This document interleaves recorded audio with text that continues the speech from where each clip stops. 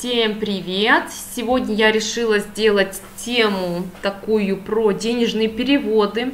Поскольку не всех есть э, PayPal и возможность получить на него, но можно договариваться с покупателями картин, чтобы они э, отслали денежный перевод. Конечно, не все на это идут, э, но я думаю, если вы объясните ситуацию, что у вас, например, еще в стране не работает PayPal в полной мере, они, думаю, войдут в ситуацию. У меня, по крайней мере, так было раза четыре.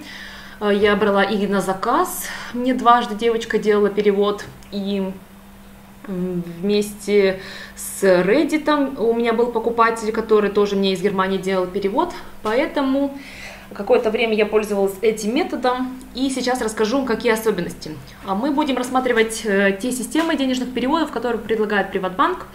И, и вот здесь мы видим, что у нас есть, э, вот я уже вбила информацию, то есть э, средняя сумма для перевода я указала 100 долларов. И какая будет комиссия в этом случае? У Western Union самая крупная комиссия, у MoneyGram чуть поменьше. Для переводов SWIFT примерно одинаковая, как с MoneyGram, и для RIA Intel Express самая меньшая.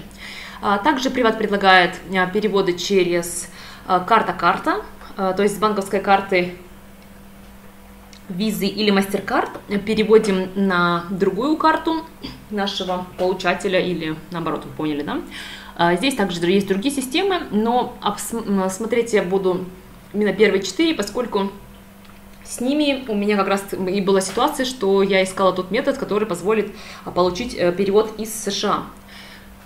Вот. И смотрите, а, обычно для денежных переводов на, ну, какая нужна информация? Э, фамилия, имя, э, страна, город, возможно, номер телефона, но не всегда просит, и сумма. То есть эту всю информацию указывает отправитель, пользуясь той системой, какая будет удобна, на которую вы договоритесь. То есть реквизиты, э, возможно, вам понадобятся, если э, запросит такая система, например, у MoneyGram можно отправлять именно еще через банковский, на банковский счет, то есть это фактически получается как SWIFT-перевод, и нам нужны реквизиты банка. А найти их можно в разделе «Все э, услуги», вот здесь вот все послуги, мы смотрим переказы, реквизиты для международных платежей. Э, какая особенность? Э, SWIFT это международный платеж, поэтому реквизиты должны быть на английском языке. Э, получить реквизиты на украинскую карту, которая у нас записана, ну, например, универсальная украинская да, для выплат, не получится, потому что она дает информацию именно в, на украинском. Но если нам нужен перевод, эм, который мы, в принципе, потом можем даже зачислить сразу на э, счет, тогда здесь важно, чтобы у вас была э, интернет-карта э, онлайн, вот эта их эм, виртуальная, да, созданная для доллара или евро, и тогда мы заходим в раздел реквизиты, там будет эм, возможность выбрать карту и получить для нее реквизиты. Выглядят они таким путем, я замазала тут свою информацию. Здесь у нас указана фамилия, имя на английском, адрес, эм, по которому мы регистрировались, когда мы создавали счет Приватбанке. А, также следует учитывать, что часто то, как написано ваше имя, фамилия на английском языке именно в Приватбанке, будет отличаться от э, заграничного паспорта. И это, на самом деле, я не знаю, что делать с этой ситуацией потому что, по идее, такие реквизиты никак не меняются. Но факт есть факт. Э, нам нужен IBAN, нам нужен э, адрес банка без бенефициария. Э, вот здесь оно все представлено, в таком виде это выглядит. То есть для международных платежей, например, SWIFT, если нужна информация, то вот мы ее можем найти, распечатать вот здесь в разделе «Переказы. Реквизиты». Когда мы хотим сделать перевод через PrivatMoney, а, то есть это будет, по идее, с карты на карту. Вот здесь мы можем, смотрите, на карту Visa MasterCard по банку, да, створити делаем. И какие здесь есть ограничения? А, я пробовала делать это для перевода из США, три раза у меня отклоняло. Не могла понять, в чем проблема. Потом написала поддержку и добилась такие информации, которая она у них нигде не указана. Вроде бы сказано везде, любой банк мира, но нет, можно только по Европе. То есть э, США, Канада, другие страны, оно не будет поддерживаться. Европейские, там, Россия, в принципе, разрешено. Вот. Ну, возможно, СНГ тоже, э, скорее всего, тоже, да. А вот совсем такие далекие заграничные страны не получается использовать этим э, сервисом. Вот, если открыть отдельно PrivatMoney, вот так он выглядит. Здесь э, это, в принципе, да, это другой способ, это именно приватовский. Э, самая, получается, как бы самая низкая комиссия по Украине, в другие страны тоже не сильно большая вполне все адекватно. Э, приватбанковская система позволяет вот делать в другие страны, но здесь смотрите, какие есть страны. В основном э, в далекие такие, типа как США, Канада, нельзя. Э, ну, можно Финляндия, по Европе, Австрия, Румыния, Швеция, Эстония, Литва, Польша. То есть такие достаточно страны-партнеры Украины, в них можно делать переводы, либо получать из них, да. Вот здесь другие страны, вот так у нас такой немножко ограниченный сервис. Но тем не менее вполне э, можно им пользоваться, если подходите под этот список, и комиссия очень небольшая. Дальше мы говорим про Western Union. Э, этим э, способом переводов я пользовалась еще, э, когда была Санкт-Петербурге, поскольку там э, таких точек в банке и даже на почте Western Union было везде очень много, поэтому мне казалось, что это наиболее распространенная по свету э, такая денежная система, и что э, она даже для США очень подходит, ну, в принципе, это же оно оттуда создано. Но смотрим, какие здесь есть особенности. Когда мы идем и хотим зарегистрироваться в их системе, Western Union. Так, нет, сейчас просто вот так откроем.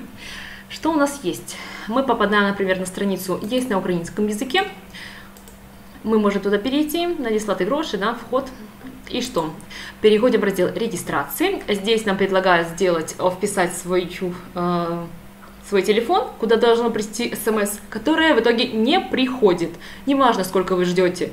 Полчаса, не знаю, час – вот я отправляла первый запрос, это было 10.18, сейчас уже 11.20, в итоге никакой смс мне не пришло. А, Western Union, чтобы зарегистрироваться в их системе, нам нужен Western Union USA, то есть оригинальный сайт, где мы можем нормально зайти, зарегистрироваться, он абсолютно по-другому выглядит.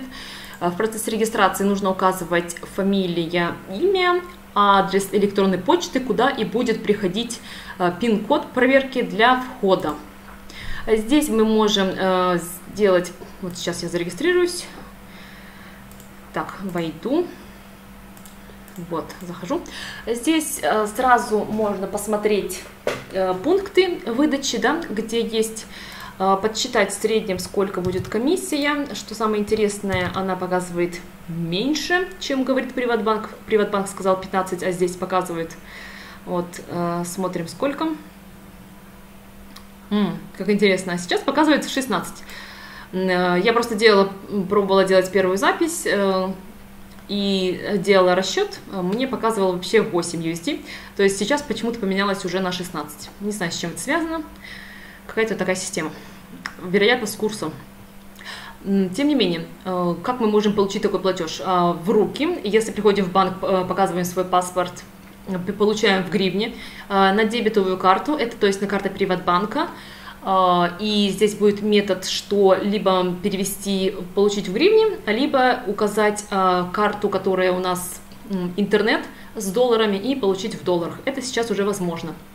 Человек, чтобы отправлял, он может пользоваться своей дебетной картой, банковским аккаунтом, да, либо идти оплачивать через in store, то есть наличным, э, в, условно говоря, в точке, где э, банковская точка такая будет для переводов, и здесь у них разная комиссия. Вот. Дебет карт, банк карт. А, вот теперь вижу, да, это связано с тем, как будет платить отправитель. Так и будет разная стоимость. Эм, Western Union вполне себе адекватная система, несмотря на высокие тарифы для получения и для отправления. А, следующий вариант был РИА. Э, я начала его проверять по той причине, что э, это же самая низкая комиссия. Риа Money трансфер они называются. Но что здесь, какой интересный эффект? Если ты хочешь зарегистрироваться из Украины, из России, то тебя сильно вламывают, потому что э, она представлена для стран США, Канады, Великобритания, Испания, Австралия. Э, эти люди из этих стран могут регистрироваться, а получатели в остальных 160 только получать, но не заходить в эту систему. Э, в этой системе мы можем только сделать э, проверку трансфера, где он находится, найти location, посмотреть, э, будет ли удобно нашему получателю, исходя из его страны, его города, сколько точек э, в э, РИА представлено в его городе. Ну, вот эту информацию мы можем получить. А, то есть, как бы, когда а, мой отправитель зарегистрировалась в этой системе, а на самом деле она тоже там запуталась, а, и такая интересная ситуация получилась. Она сначала указала как бы мои реквизиты, э, имя, фамилия, номер телефона, сколько отправляла. А, но потом, видимо, решила, что я еще отправляла информацию про банковский вот этот IBAN и вот эта вся информация, которую она, в принципе, по ходу дела тоже ввела ее а, в систему. И ей сначала вроде как платеж пошел, подтвердился, а потом они его застопили. А, служба поддержки отказалась отвечать, почему они его вот так вот с ним поступили. А, а, отменили его. Они сказали вот что-то типа недостоверное, как это, недоверен, ну вот что-то типа недоверенная страна или недоверенный получатель. И таким образом они просто отказались отсылать из США в Украину. Это следует учитывать, не знаю, с чем это связано. Возможно, какие-то внутренние свои ограничения. Теперь перейдем на MoneyGram. MoneyGram у нас тоже есть как на украинском языке, так и на э, их оригинальной системы. Да, мы сейчас покажу. А, в принципе, выглядит практически одинаково.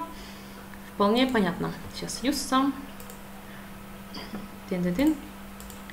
А вот здесь у нас э, мы не можем здесь зарегистрироваться. Мы здесь получаем информацию, как найти отделение, как отследить перевод, э, что нужно для отправки, для получения ну, например, как отправить деньги, да? А, здесь нам Маниграм говорит, что нужно прийти в отделение, подготовить документы а, и, в принципе, вот это все сделать. На иностранном сайте мы можем пройти регистрацию и аналогично а, вот здесь вот тенс, вписывается больше информации, которая нужна, да, и мы все это вводим прямо в системе и можем отправлять в принципе, сайта. MoneyGram представлен достаточно широко, именно, например, в Америке, в Канаде, в других странах, когда я пыталась э, получить платеж э, от девочки из Тринидада, я ей предлагала искать Western Union, но оказалось, что у них Western представлен только в трех отделениях, и идти туда слишком далеко, а MoneyGram, в принципе, находится близко, и отправить с ним очень просто мы видим, что комиссия, где тут у нас комиссия, в принципе, не слишком сильно отличается, но она все-таки ниже, чем на Western Union. А, MoneyGram, какую сделал интересную вещь? Я получала платеж, эм, это был еще примерно 2 или 3 года назад, э, когда в Украине были ограничения на получение средств э, от иностранных говорится, отправители в том плане, что ты не мог их получить на банковскую карту. Ты мог только прийти в отделение и с паспортом их получить в гривнах, в долларах ни, никаким образом. Сейчас ты можешь получить сразу и на иностранную свою карточку, да, виртуальную, э, в долларах, и все это будет нормально, потому что эти ограничения сняли. Но на тот момент они были, и, возможно, это стало причиной тому, что мне пришлось для получения прямо в банке Приватбанка в отделении пройти такое интервью на английском языке. Это был такой первый опыт длительного общения с банковским работником на английском.